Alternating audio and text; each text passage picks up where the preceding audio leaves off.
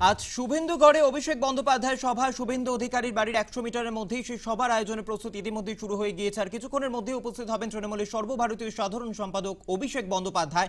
এবং সেই সভা মঞ্চের প্রস্তুতির দিকেই একটু নজর থাকবে আমাদের। অর্থাৎ সকাল থেকে সেখানকার কি পরিস্থিতি, একেবারে শেষ মুহূর্তে প্রস্তুতি কোন জায়গায় দাঁড়িয়ে আমরা নজর রাখব অবশ্যই সেই সভার দিকে। শুভেন্দু অধিকারী, অর্থাৎ শুভেন্দু গড়ে আজ অভিষেক বন্দ্যোপাধ্যায়ের সভায়, একেবারেই সেই সভা মঞ্চ কতটা সেজে উঠেছে? তৃণমূল কর্মী সমর্থকারী কতটা ভিড় জমিয়েছেন বিস্তারিত আপডেট নেব। শুভময় জানা রয়েছে আমাদের সঙ্গে, সেখান থেকে সরাসরি শুভময়ের কাছে আসব। শুভময়, সকাল থেকে সেখানকার পরিস্থিতিটি কি? তৃণমূল কর্মী সমর্থকরা তারা ইতিমধ্যে পৌঁছে গিয়েছেন সেখানে? কি জানা যাচ্ছে শুভময়?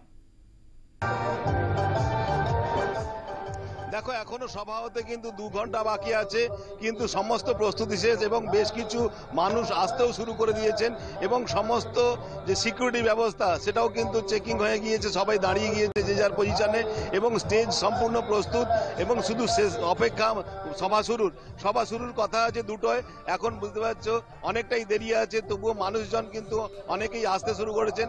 সারা জেলার থেকেই মানুষজন আসবেন এবং সেই সেই সভা শুরু হবে দুটোর সময় এবং এখন কিন্তু একবারে প্রস্তুতি শেষ তুঙ্গে, শেষ পর্যায়ে চলে এসছে এবং শুধু অপেক্ষা এই মুহূর্তেই আমরা পেয়েছি এই মঞ্চের যিনি দায়িত্বে আছেন, এই সবার যিনি দায়িত্বে আছেন, তিনি আর কেউ নন, সুপ্রকাশ গিরি। তার কাছ থেকে আমরা জেনে নেব কি থাকছে আজকের সভায় এবং কি কি ব্যবস্থা থাকছে। হ্যাঁ আমরা একদম পুরোপুরি প্রস্তুত হয়ে গেছি, কারণ লাখে লাখে জনতা ইতিমধ্যে তারা সভাস্থলে আসা শুরু করেছেন। বিভিন্ন জায়গা থেকে মিছিল আসা শুরু করেছে। রেকর্ড সংখ্যক মানুষের জমায়েত হবে।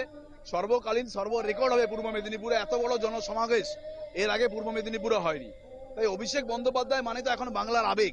সেই আবেগকে সামনে নিয়ে ছাত্র যুব থেকে শুরু করে মহিলা থেকে শুরু করে তৃণমূল কংগ্রেসের কর্মীরা আজকে দলে দলে এই জনসমাবেশে যোগদান করবেন। আগে সভা হওয়ার কথা ছিল স্টেডিয়াম মাঠে সেখান থেকে সরিয়ে নিয়ে আসা হলো। কি উদ্দেশ্য বা স্টেডিয়ামের মাঠটা আমরা দেখলাম আয়তনে আমাদের কলেজ মাঠের থেকে ছোট হচ্ছে। যেহেতু এই মাঠটাও আমাদের কাছে ছোট। এখন ধান জমি নেই আমাদের কাছে কারণ ধান মাঠে রয়েছে। কারণ আমাদের কাছে ধান জমি হলে সবচেয়ে ভালো হতো কি?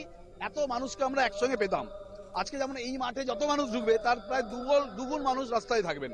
সবাইকে মাঠে আমরা অ্যাকোমোডেশন দিতে পারছি না।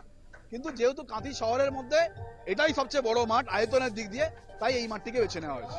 অনেকে বলছেন শুভেন্দু অধিকারী শান্তিকুঞ্জকে শান্তি নষ্ট করার উদ্দেশ্যে এইখানে করা হয়েছে। সেই বিষয়ে কি বলবেন? না না শুভেন্দু অধিকারী তো বাংলার অশান্তির সবচেয়ে বড় মালিক। আর তার বাড়ির নাম শান্তিকুঞ্জ। আমাদের কোনো ইন্টেনশন নেই আমাদের কোনো উদ্দেশ্য নেই। রাজনৈতিক গণতান্ত্রিক দেশে রাজনৈতিক সভা যে কোনো জায়গায় হতে পারেন। আর তার বাড়ি অনেকটাই দূরে। সেখানে নিশ্চিত নিরাপত্তা থাকবে। আমরা শালীনতা জানি আমাদের দল শৃঙ্খলাবদ্ধ দল। আমরা মানুষের পাশে থাকি সবসময়ের জন্য। আমাদের। কোনো ইন্টেনশন নেই কোনো পরিবারকে ডিস্টার্ব করা কোনো পরিবারকে কটুক্তি করা। কিন্তু শুভেন্দু অধিকারীর ইতিহাস ভুলে গেলে চলবে না। শুভেন্দু অধিকারী তো এই মাটিতে দাঁড়িয়ে অমিত শাহের সভায় আদিবাসী ভাই একেবারে সময় অর্থে বোঝাই যাচ্ছে এই মাত্র লোককে জায়গা দিতে পারবেন না এমনটাই দাবি করা হচ্ছে তৃণমূলের তরফে। অনেক ধন্যবাদ শুভময় শুভময় জানাছিলেন সরাসরি আমাদের প্রতিনিধি সেখান থেকে।